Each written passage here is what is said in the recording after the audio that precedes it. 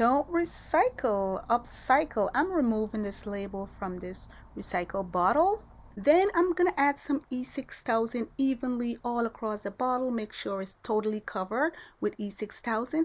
Then I have some Dollar Tree pebbles that I'm to put in a plate and I'm to lay it out flat and I'm to take my bottle with my glue and I'm to roll it back and forth making sure that all the areas are nicely covered with my pebbles to my satisfaction and then I will go ahead in a ventilated area and spray paint it in gold and bam this is what it looks like. I am in love already.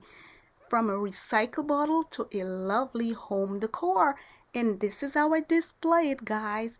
If you love what you're seeing go ahead and give this video a thumbs up and if you're new subscribe to my channel. Thanks for watching